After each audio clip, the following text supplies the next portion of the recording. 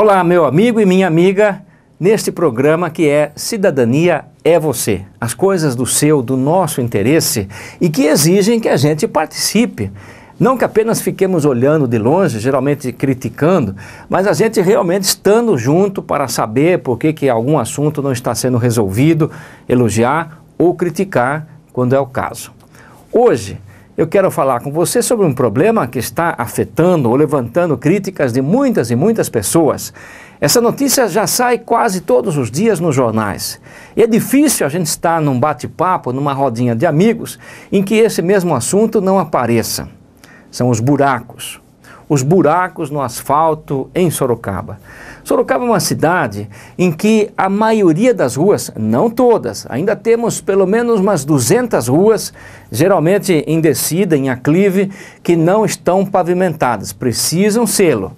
Nós já conseguimos aprovar algumas leis recentemente para favorecer financeiramente a pavimentação dessas ruas que ficaram por último, porque exigem não só a capa do asfalto, mas também a colocação por baixo da tubulação de drenagem, do escoamento das águas de chuva. Isto custa dinheiro. A notícia para encerrar esta parte é que nós conseguimos agora isentar liberar o morador dessa rua, aquele que colabora com uma parte do pagamento, do custo desses tubos que ficam embaixo da terra. Portanto, a pavimentação, a partir deste ano, vai ter um custo um pouco mais baixo do que tinha antes. É o momento para que a vizinhança se cotize, pague a parte dela e a prefeitura faça o resto, para a gente conseguir viver numa cidade daqui a pouco tempo que tenha 100% das ruas asfaltadas. Isso não é tão difícil, porque os novos loteamentos, eles passaram a ter a obrigação de entregar, quando vendem os lotes, as ruas, todas as ruas desse novo loteamento já asfaltadas. Portanto, se a gente considerar que as novas já chegarão asfaltadas, sobram somente as antigas. E as antigas são esses casos que aos poucos têm que ser resolvidos. Mas o que eu quero dizer é que o asfalto é uma das coisas mais importantes. Todas as famílias que ainda não têm asfalto, o maior sonho delas é que o asfalto aconteça. É necessário algum sacrifício, mas é possível. Entretanto, a outra questão, e depois que a rua já é asfaltada, a quem cabe a manutenção? E o pagamento dessa manutenção de um asfalto que já foi feito uma vez. Não importa que, se tenha sido feito o ano passado, há 5, 10 ou 20 anos. O que a lei manda, isso é importante que eu diga para que você ajude a fiscalizar.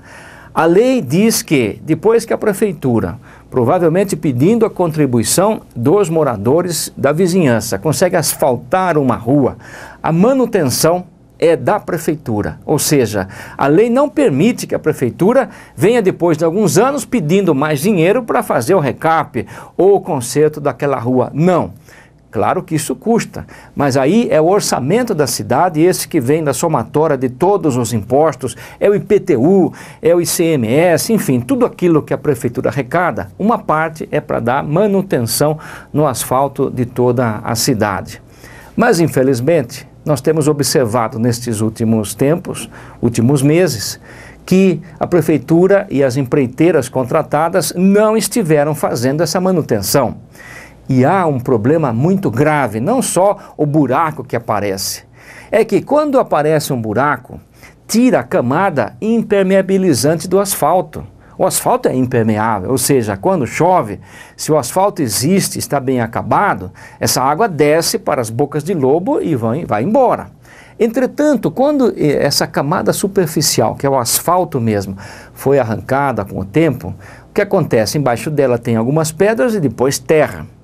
Quando cai chuva, essa água penetra por baixo e vai estragando esse asfalto numa área muito maior do que onde está o tal buraco. Ou seja, o custo que a cidade, que nós todos pagamos para consertar um buraco que tenha durado semanas ou até meses é muito, muito maior. Isto, na verdade, é um defeito muito grave de qualquer governo. Não é corrupção, mas com certeza é incompetência administrativa.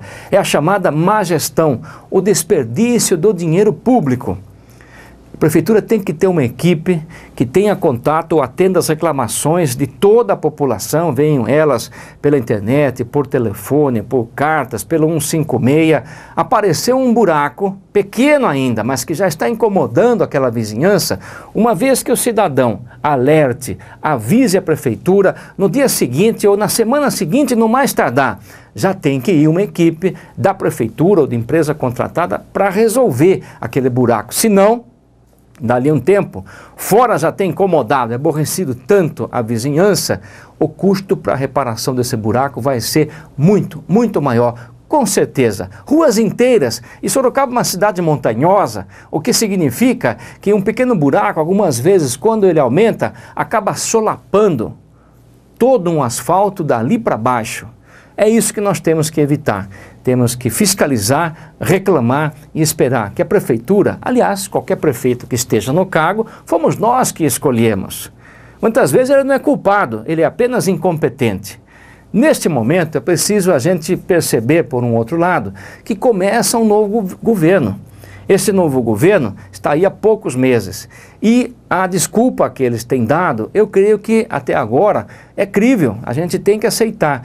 Eles receberam uma administração anterior que infelizmente esqueceu-se ou por falta da competência dela, não renovou o contrato que a prefeitura mantinha e continuará fazendo isso com as empreiteiras da pavimentação. Só que essas empreiteiras, mesmo fazendo um bom trabalho, elas existem para ganhar dinheiro. Tem que ser o lucro justo, mas elas precisam de lucro. O governo anterior não renovou o contrato. Deixou que o novo governo assumisse, mas não tivesse um novo contrato, portanto, não tinha como a empreiteira simplesmente começar fazendo logo no primeiro mês do governo atual. Isso demorou. Agora, conforme o prefeito, que já foi tão criticado, mas explicou, o contrato foi refeito e ele garante que dentro de poucas semanas vão correr atrás do prejuízo. Só que esse prejuízo vai ser maior pelo tempo que demorou.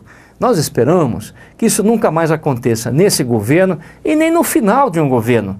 Ainda mais quando o prefeito consegue eleger o seu sucessor.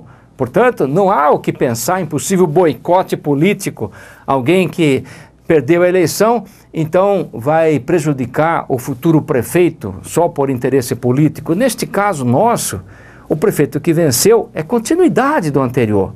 Ou seja, não dá para a gente entender. Já que o prejuízo aconteceu, nós temos é que querer uma solução rápida e esperar que não mais aconteça. Mas fique de olho na sua casa, na sua vizinhança, qualquer buraco que apareça pequeno, avise e depois fiscalize para que seja resolvido, porque quem paga é você, somos nós. Essa é a cidadania que nós procuramos trazer na mente de todos nós neste programa, que cidadania é você.